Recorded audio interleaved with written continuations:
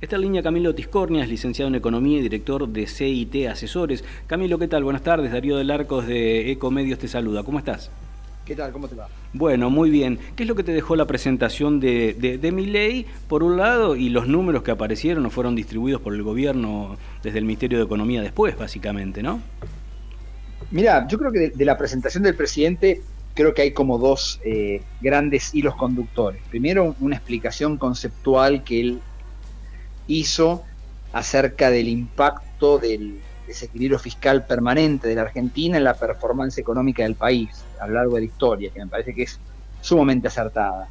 Eh, y la segunda, que tiene que ver con este nuevo mecanismo para tratar de pensar el presupuesto, en donde la idea es ajustar el gasto a los recursos que se crea que el, Estado va a poder eh, conseguir durante un determinado ejercicio económico, que es un cambio bastante importante respecto de cómo esto se, se venía haciendo habitualmente. Así que me parece que estas son las, las, dos señales más relevantes, sobre todo la segunda, que habla o trata de generar un cambio pensando a futuro en cómo manejar las finanzas públicas. Y luego están los números que se difundieron, que bueno, obviamente son, son motivo de discusión sin duda.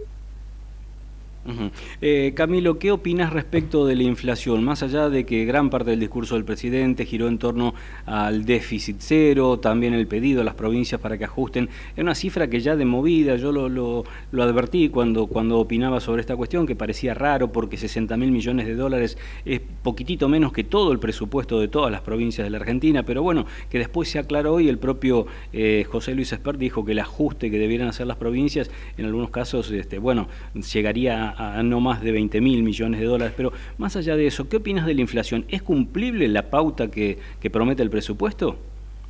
Luce muy ambicioso, honestamente. Eh, yo creo que personalmente le doy mucho más valor a la presentación del presidente y al tema del mecanismo este que a los números concretos del presupuesto.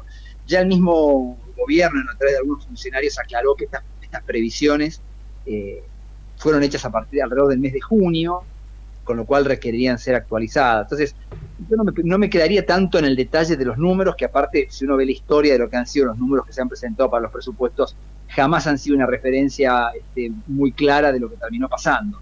para mí es mucho más importante el aspecto conceptual de lo que propone el presidente, que los números en concreto. Ajá. Eh, ¿En cuánto depende la economía de la Argentina de lo que se pueda llegar a acordar con el Fondo Monetario Internacional o de lo que se genere para cumplir con los compromisos contraídos, que el año que viene tiene muchos vencimientos? Sí, yo personalmente soy de la idea de que al, Fondo Monetario habría que recurrir en todo caso para tratar de, de, conseguir financiamiento para los vencimientos, o sea, para tratar en todo caso de renovar los vencimientos pero en principio creo que habría que tratar de resolver los problemas sin tener que pedir más plata al Fondo Monetario.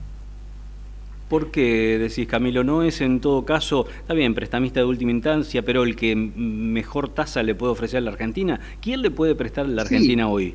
Si, si eso fuera un sustituto de otra deuda, sí, pero no tomarían nueva deuda con el Fondo Monetario en términos netos. O sea, si de alguna forma se puede conseguir financiamiento del fondo para reemplazar otra deuda que es más cara, en principio creo que puede ser, siempre sabemos que el fondo viene con, con, condicionamientos, ¿no? Y eso después políticamente es difícil de vender. Claro. Pero yo creo que hay que tratar de evitar tomar deuda nueva. Eh, y cuando muchas veces se piensa en tomar deuda con el fondo, es con la idea de levantar el cepo, y yo creo que a veces eh, los que plantean eso no tienen del todo claro o no explicitan eh, ciertos aspectos, porque si la idea es tomar deuda con el fondo para abrir el cepo y entregar esos dólares por la salida de capitales que eventualmente podría haber. Después va a venir la crítica de que se tomó deuda con el fondo para financiar la salida de capitales. Entonces, eh, ¿realmente tiene sentido ir a tomar deuda con el fondo para eso? Yo creo que no. Por lo que se ve el seco, el cepo, perdón, hasta fines de 2025 no, no, no creo que se levante, ¿no?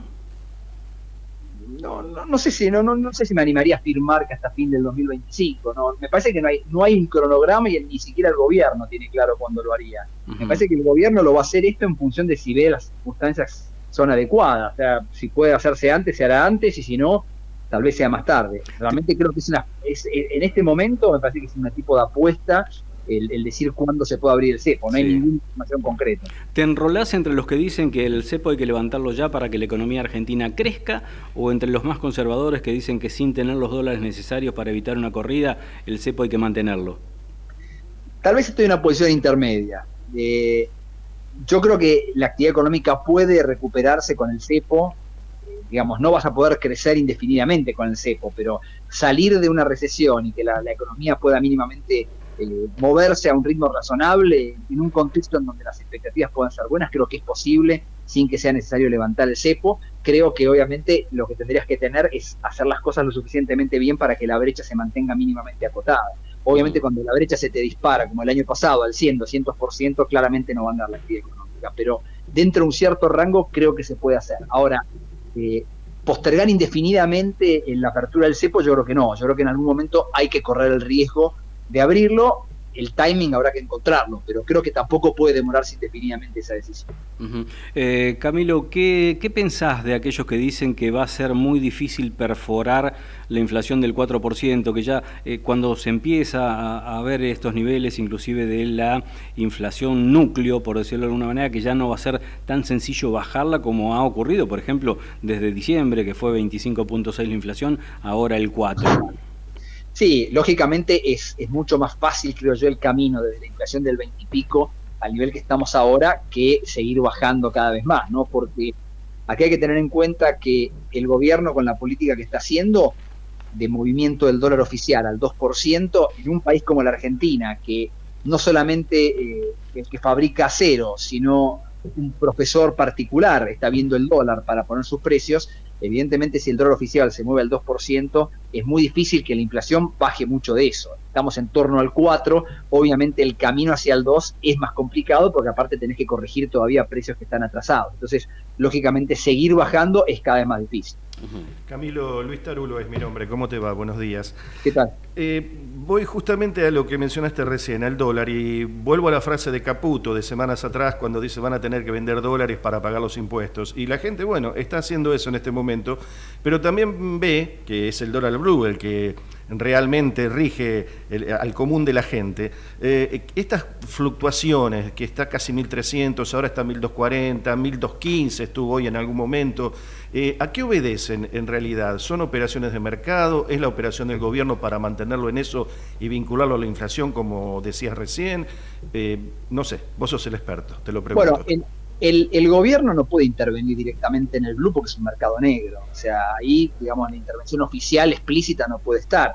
En todo caso, si la hay, que esto forma parte de un anuncio que hizo el gobierno, es en el que se llama el dólar MEP y el contado con liquidación. Ahí sí el gobierno, a partir del mes de julio, anunció que en principio iba a empezar a intervenir, pero tampoco fue muy claro en el mecanismo de intervención, tampoco queda del todo claro los montos que se destinan a, a intervenir esos mercados pero yo diría que por ahora, por lo que uno podría sacar de algunas estadísticas, es un monto bastante acotado lo que han usado para, para intervenir.